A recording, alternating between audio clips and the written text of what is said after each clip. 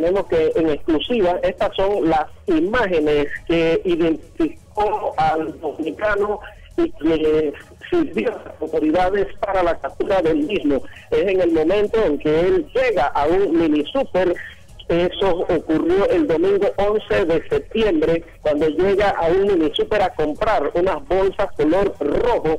bolsas que servían para eh, guías o señalar eh, entre postes y también algunos árboles, eh, dándole las señales a los chinos de dónde iban a hacer entrega del el dinero eh, por el cual era el rescate de los cinco jóvenes chinos que se encontraban secuestrados en esos momentos por este sujeto que eh, en ese momento, pues eh, posteriormente fue confeso de eh, las atrocidades que había cometido y también en el que tenía dentro de su residencia, ubicada en la barriada del Campesino, los cadáveres. Allí lo observamos, momentos en que él se encontraba allá en la caja registradora haciendo compra de las bolsas de color rojo como habíamos señalado, era el que prácticamente pues las señales que él iba a poner en esos momentos para que los chinos